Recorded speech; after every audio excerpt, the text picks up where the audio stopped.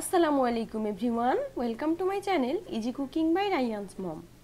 আজ আমি আপনাদের সাথে খুবই মজাদার খেজুর গুড়ের পায়েসের রেসিপি শেয়ার করব। যদিও সর্দি জ্বরে কণ্ঠটা একটু চেঞ্জ হয়ে গিয়েছে রেসিপিতে কিন্তু কোনো রকম কম্প্রোমাইজ করিনি। আশা করছি রেসিপিটি আপনাদের ভালো লাগবে। ভালো লাগলে ভিডিওতে অবশ্যই একটি লাইক দিবেন এবং প্লিজ আমার চ্যানেলটি সাবস্ক্রাইব করে পাশে থাকবেন। আজ আমি এক লিটার দুধের পায়েস রান্না করব। তো তার জন্য এখানে কোয়ার্টার কাপের থেকে কিছুটা কম চিনি গুঁড়া পোলাওয়ের চাল নিয়েছি। পোলাওয়ের চালের পরিবর্তে এখানে আতপ চালও ব্যবহার করা যাবে। এখানে একশো পঞ্চাশ গ্রামের মতো খেজুরের গুড় নিয়েছি। তবে খেজুরের গুড়টা যে যেমন মিষ্টি পছন্দ করেন, সেই অনুযায়ী নেওয়া যাবে। এখানে দুই রকমের বাদাম নিয়েছি, কাজু বাদাম এবং পেস্তা বাদাম। চাইলে এখানে কিশমিশও ব্যবহার করা যাবে। আর নিয়েছি এক টুকরা দারচিনি আর দুইটা এলাচ। এখন চালগুলোকে খুব ভালো করে ধুয়ে পানি ঝরিয়ে নিব। তো চালটাকে খুব ভালো করে ধুয়ে পানি ঝরিয়ে নিয়েছি।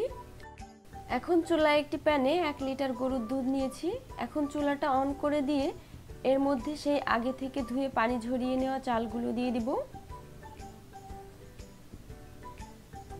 তো চালগুলো দিয়ে সাথে সাথে নেড়ে মিশিয়ে নিতে হবে দুধের সাথে চালগুলোকে। এখন এর মধ্যে সেই এলাচ এবং দারচিনির টুকরোগুলো দিয়ে দিচ্ছি। এখন মিডিয়াম আঁচে এগুলোকে জাল করব। চালটা সিদ্ধ হয়ে যাওয়া পর্যন্ত। বেশ কিছুটা সময় জাল করার পরে চালটা সিদ্ধ হয়ে গিয়েছে এবং দেখতেই পাচ্ছেন দুধটাও অনেকটাই টেনে গিয়েছে। তো এখন এই গরম দুধের মধ্যে গুড় ব্যবহার করলে দুধটা ছানা কেটে যেতে পারে। তাই আমি চুলাটা অফ করে দিয়ে দুই থেকে তিন মিনিট এগুলোকে নেড়ে কিছুটা ঠান্ডা করে নিব। এগুলো কিছুটা ঠান্ডা হয়ে গিয়েছে। তো এখন হচ্ছে এর ভেতর থেকে এলাচ, দারচিনিগুলো তুলে ফেলে দিচ্ছি। এখন এর মধ্যে আমি গুড় ইউজ করছি, তবে অল্প অল্প করে গুড় দিয়ে এগুলোকে মিশিয়ে নিতে হবে।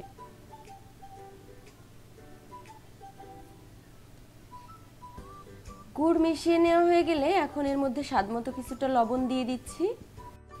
আর সেই কুচি করে নেওয়া বাদামগুলো দিয়ে দিচ্ছি। আপনারা চাইলে এই পর্যায়ে কিশমিশও ব্যবহার করতে পারবেন। এখন সব কিছু ভালো করে মিশিয়ে চুলাটা অন করে দিয়েছি। এখন এগুলোকে জাল করব। গুড়টা সম্পূর্ণ গলে পায়েসটা ঘন হয়ে যাওয়া পর্যন্ত। কিছুক্ষণ জাল করার পরে পায়েসটা কিন্তু একদমই রেডি এর থেকে আর বেশি ঘন করা যাবে না। তো এ পর্যায়ে আমি এটাকে চুলা থেকে নামিয়ে সার্ভ করে নিচ্ছি। উপরে কিছু বাদাম কুচি দিয়ে সাজিয়ে নিচ্ছি। এই পায়েসটা যে কতটা টেস্টি, বাসায় একবার ট্রাই না করলে বুঝতেই পারবেন না। তো আমি আশা করছি ভিডিওটি আপনাদের ভালো লেগেছে। সবাই খুব বেশি ভালো থাকবেন। আজ এখানেই বিদায় নিচ্ছি। আল্লাহ হাফেজ।